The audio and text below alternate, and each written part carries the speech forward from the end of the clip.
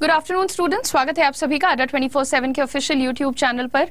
मेरा नाम है उदिशा और आप लोगों के लिए आज से एक नई ग्रामर की सीरीज़ यूट्यूब पर शुरू कर रही हूँ क्योंकि जनरली हम आपके साथ ये डिस्कस करते हैं कैसे स्टूडेंट्स कॉन्सेप्ट्स uh, को जो है बहुत ही इग्नोरेंट uh, तरीके से एड्रेस uh, करते हैं। जनरली क्या होता है कि हम लोगों को रट्टा मारना सिखा दिया जाता है एंड वो एक बड़े वर्ग के साथ हो चुका है।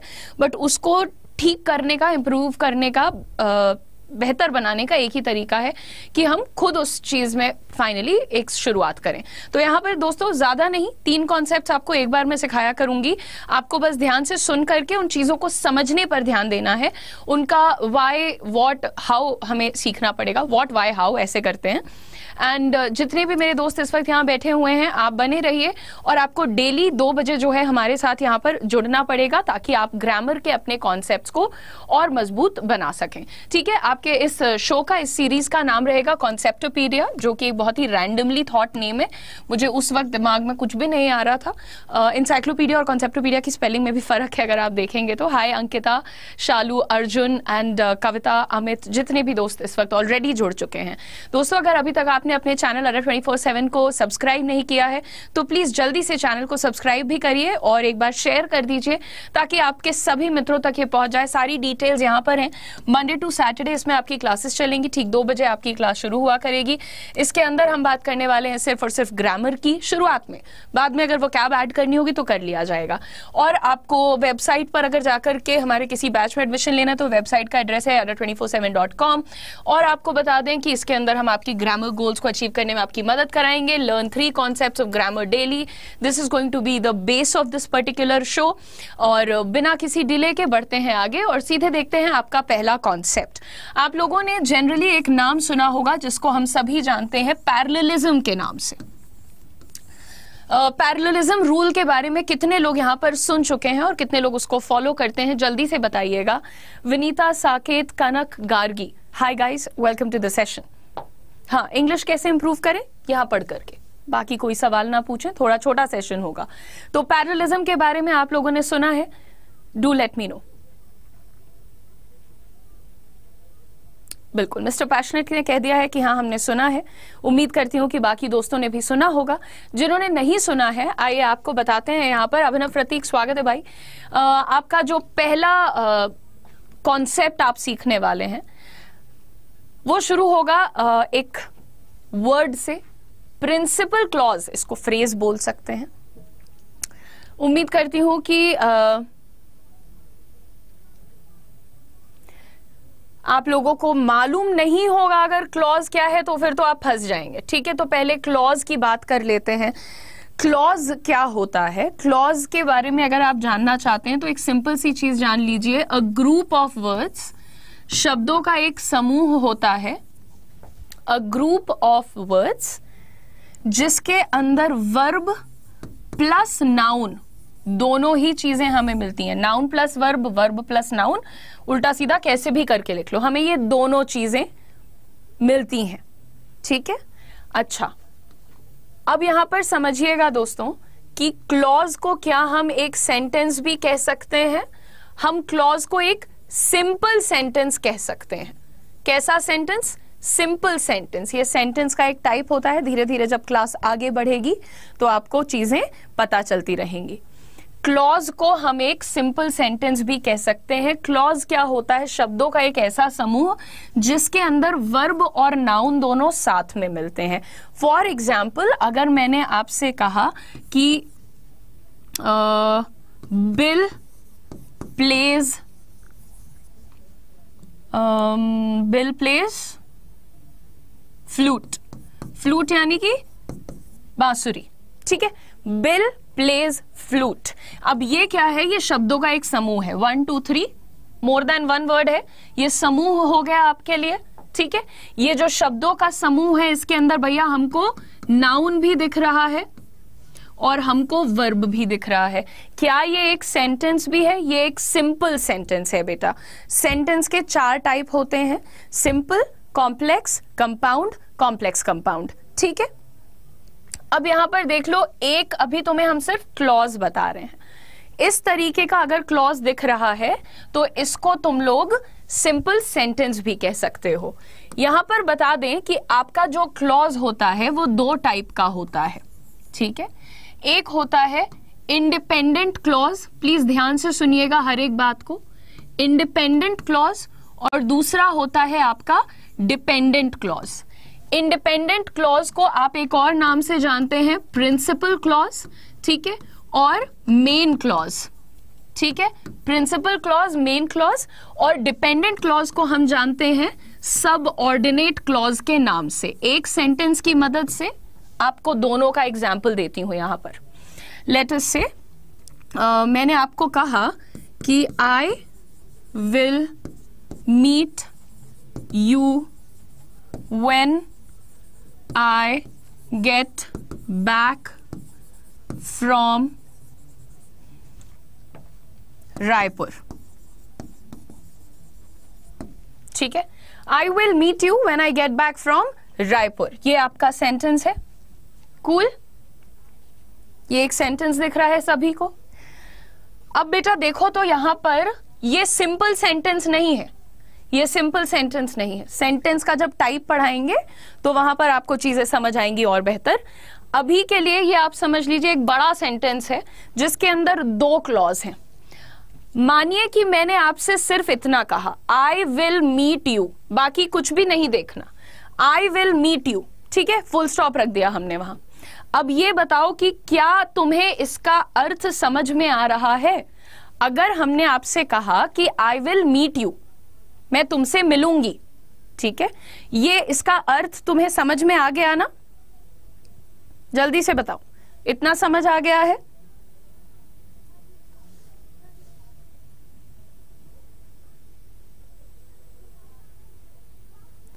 अगर इसका अर्थ ये अपने आप बिना किसी और की मदद से आप तक पहुँचा पाया है तो इसी को आज से आप कहेंगे इंडिपेंडेंट क्लॉज का example independent C L A U S E clause ठीक है?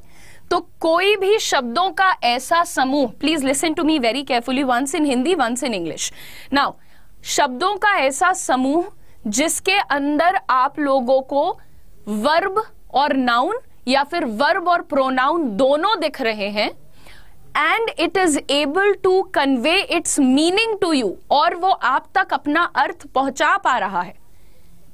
तो उसी को हम कहते हैं independent clause now leave this अब इसको इग्नोर कर दीजिएगा। अब आपको ध्यान देना है इस हिस्से पर। अगर मैंने किसी दिन आकर के कहा, Snehika Snehika when I get back from Raipur मैंने सिर्फ़ इतना कहा, Snehika when I get back from Raipur full stop क्या आपको इसका पूरा मीनिंग समझ में आया? Will you understand this part पूरा मीनिंग समझ जाओगे क्या कह रहे हैं? सिर्फ़ आपसे कोई मिला और कहता है when I get back from Raipur when I get back from London जब हम लंडन से वापस आएँगे, पूर्ण विराम फुल स्टॉप ऐसा कहने पर समझ आएगा? नहीं। आप पूछोगे कि आगे बताइए जब आप वापस आएँगी तो क्या होगा? या उसके पहले कोई इंफॉर्मेशन दीजिए। तो ये क्या लग रहा है भैया? ये अधूरा लग रहा है as we call it in Hindi right ये इनकम्प्लीट लग रहा है। ये अपना मीनिंग पूरा नहीं बता पा रहा है। ये थॉट को पूरा आप तक नहीं पहुँचा पा रहा है। तो इस प्रकार के एक क्लॉज को हम क्या कहते हैं? We call it a dependent clause dependent clause क्योंकि भाई ये पूरा मीनिंग बताने के लिए किसी और पर डिपेंड करता है, किसी और पर डिपेंड करता है। तो आई होप यहाँ पर एटलीस्ट आप लोगों को क्लॉज क्या होता है और इंडिपेंडेंट क्लॉज क्या होता है और डिपेंडेंट क्लॉज क्या होता है। ये तीनों चीज़ें क्लियर हो गई हैं। अगर नहीं हुई है तो आप इस वीडियो को कई बार देख सकते हैं। बिल्कुल free of cost YouTube Adda twenty पर अवेलेबल है दोस्तों। ठीक है, ये आपने अभी क्लॉज का एक कॉन्सेप्ट सीखा है। आगे बढ़ते हैं और आते हैं आपके टेंस के एक बहुत ही बड़े कॉन्सेप्ट जिसका नाम होता है पैरलिज्म पर। पैरलिज्म के अंदर आप लोगों को समझाया जाता है कि अगर तुम्हारा प्रिंसिपल क्लॉज किसी सेंटेंस के अंदर पास्ट टेंस में है तो जो उसका सब ऑर्डिनेट क्लॉज यानी कि उसका डिपेंडेंट क्लॉज होगा, उसे भी तुम्हें पास्ट में लिखना पड़ेगा। ये एक रूल ऐसा है बेटा जिसको हम नाम देते हैं ब्लैंकेट रूल। यानी कि ये ज़्यादातर वाक्यों के ऊपर एप्लीकेबल होता है लगाया जा सकता है लागू किया जा सकता है। ठीक है? आगे बढ़ते हैं। इसी को हम कहते हैं पैरलिज्म इसीलिए कहा जाता है कि आ, ऐसे मत लिखो। He said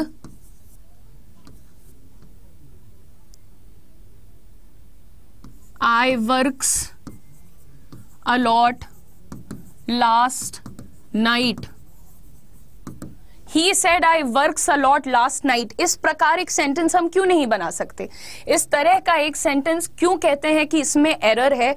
मैडम वर्क्स को हटाकर यहाँ वर्कड कर दीजिए। क्यों कह रहे हैं? आपका जो मेन क्लॉज है और जो आपका एक वर्ड है लास्ट नाइट ये दोनों आपको दिखा रहे हैं कि यहाँ पर आपको पास्ट टेंस की ज़रूरत है। आप भूतकाल में बात कर रहे हैं। करेक्ट तो यहाँ हमें ध्यान देना है कौन सा रूल लगाना था? कि पैरेललिज्म का रूल लगा दीजिए। अगर मेन क्लॉज आपका पास्ट टेंस में है तो आपका डिपेंडेंट क्लॉज भी आपके पास्ट टेंस के अंदर ही आएगा। यहाँ पर एक एग्ज़ाम्पल देकर के पहले आपको दिखाते हैं दोस्तों। My father assured me main clause देखो that he would buy a bike for me यहाँ पर हम विल बाय क्यों नहीं लिख सकते? यहाँ पर आप बताओ समझ में आया? विल बाय क्यों नहीं लिख सकते? क्योंकि जो हमारा प्रिंसिपल इंडिपेंडेंट मेन क्लॉज है तीनों एक ही के नाम है। Principal clause main clause independent clause ये तीनों इसी के नाम है। My father assured me full stop मेरे पिताजी ने मुझे गारंटी दी है। ठीक है? तो ये क्या है भैया ये? तुम्हें पूरा मीनिंग समझ आ गया। लेकिन अगर हम कहेंगे that he would buy a bike for me अरे आ, क्या नाम है? Pritam? That he would buy a bike for me कुछ मीनिंग समझ में आएगा इसका? पूछोगे ना, आगे पीछे का इंफॉर्मेशन दीजिए। Who would buy a bike तो इसमें भैया, ये तुम्हारा इंडिपेंडेंट है, ये तुम्हारा डिपेंडेंट है। अच्छा एक चीज़ बता दूँ। ज़रूरी नहीं है कि इंडिपेंडेंट पहले लिखा रहेगा। हो सकता है इंडिपेंडेंट बाद में लिखा हो डिपेंडेंट पहले लिखा हो। ये भी पॉसिबिलिटी होती है बडी तो सब लोग थोड़ा सा ध्यान से। हम्म। अच्छा अब यहाँ पर हम लोग विल नहीं लिख सकते हैं, क्योंकि हमारा मेन क्लॉज पास्ट में है, ये अशोर्ड देख करके हम जान गए तो यहाँ पर विल की जगह हमने विल का पास्ट फॉर्म वुड लिख दिया है। पसंद आई ये बात? ऐसे तो एक आपको रूल पता चला, इसको बोलते हैं पैरलिज्म का रूल टेंस के अंदर। दूसरा example he failed because he did not work hard वह फेल हो गया था। क्यों? क्योंकि उसने मेहनत नहीं की थी। अगर हम यहाँ पर डज लगाना चाहें या हम यहाँ पर डू नॉट लगाना चाहें तो क्या आप कहेंगे कि यह सही है? क्या मैं डिड की जगह डज या डू कुछ भी लिख दूँ? Can I do that I can not do that and that will not be acceptable buddy why क्योंकि हमको पास्ट दिखाना है। पास्ट में तो डिड लगता है ना? सभी को मालूम है ये बात? ठीक है? तो हमने सीख लिया पहला कॉन्सेप्ट हमारा। कॉन्सेप्ट का नाम क्या है हमें मालूम है? पैरलिज्म ठीक है? पैरलिज्म हमने आपको कहा कि ये कैसा रूल होता है बेटा? ब्लैंकेट रूल होता है। ब्लैंकेट रूल का मतलब क्या होता है? जनरली हर चीज़ पर एप्लीकेबल है। ज़्यादातर चीज़ों पर वो आ, लगाया जा सकता है लागू किया जा सकता है। ठीक है? आगे बढ़ते हैं और सीखते हैं इसका एक एक्सेप्शन ठीक है? एक हमने आपको क्लॉज पढ़ा दिया, एक हमने आपको पैरलिज्म पढ़ा दिया, और लास्ट में आपको एक एक्सेप्शन इसके बहुत से एक्सेप्शन होते हैं। कई बार आपने देखा होगा कि शुरुआत पास्ट से हो रही है, पर बीच में प्रेजेंट टेंस लगा है। फॉर एग्ज़ाम्पल अगर मैं आपसे कहती हूँ कि my teacher taught me that water freezes at zero degrees Celsius. ठीक है? बताइए। My teacher taught me that water freezes at zero degree Celsius क्या इस सेंटेंस के अंदर कोई एरर है बेटा? Is there an error in this sentence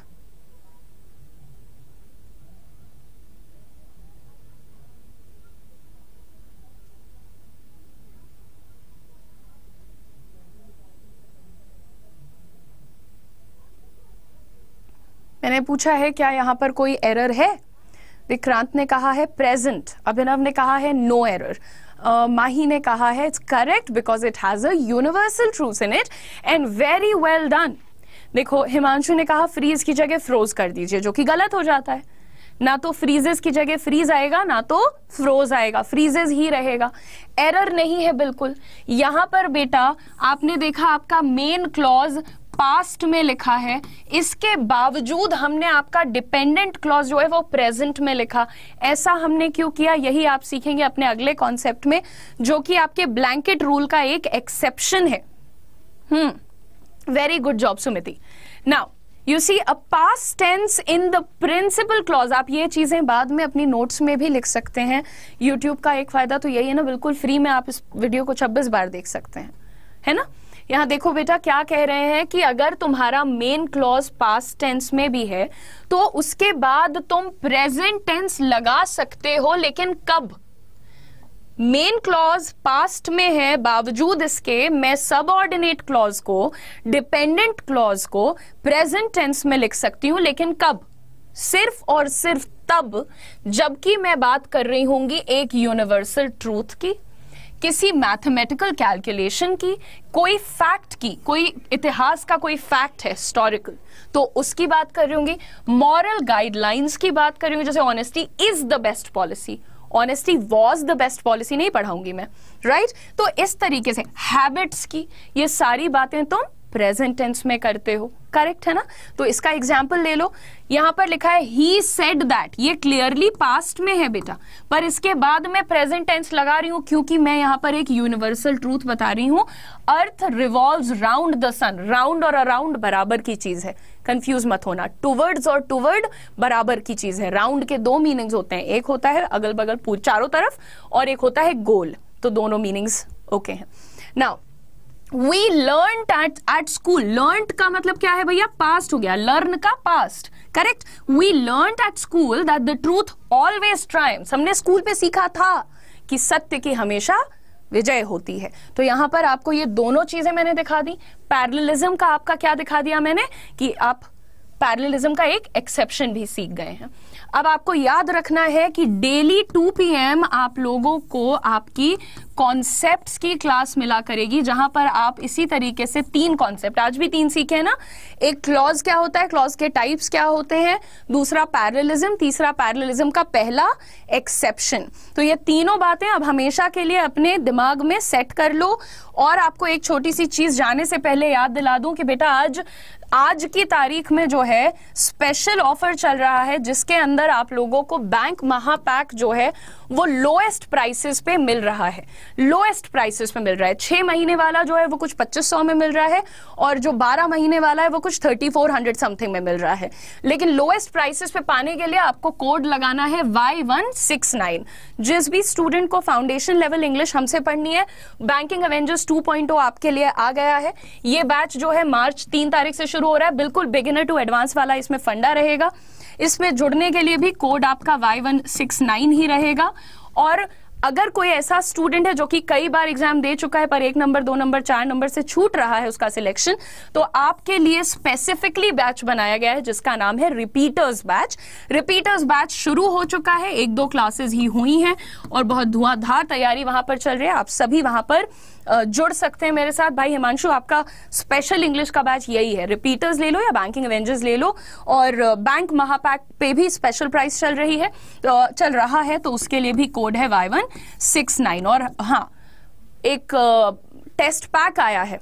gold pack जिसका नाम है, जिसके अंदर सारा बैंकिंग एसएससी टीचिंग यूपीएससी सब का टेस्ट सीरीज़ एक पैक के अंदर मिल रहा है। तो अगर टेस्ट सीरीज़ लेनी है तो टेस्ट सीरीज़ के लिए कोड क्या है? Y one six nine S ठीक है ना?